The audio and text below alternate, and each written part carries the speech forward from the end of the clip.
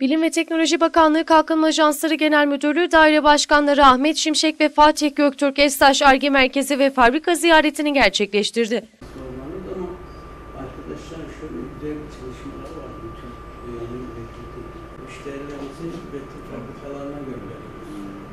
Bilim ve Teknoloji Bakanlığı Kalkınma Ajansları Genel Müdürlüğü Daire Başkanları Ahmet Şimşek ve Fatih Göktürk'ün Oran Güdümlü programına sunulan projeleri değerlendirmeleri ve cazibe merkezi destekleme programı kapsamında Estaş Arge Merkezi ve fabrika ziyareti gerçekleştirdi. Ziyarette Estaş Arge Merkezi incelendi.